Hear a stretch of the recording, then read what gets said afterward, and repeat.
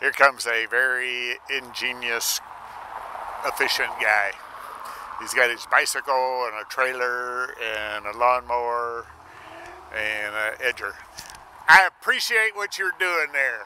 This is just, this is great.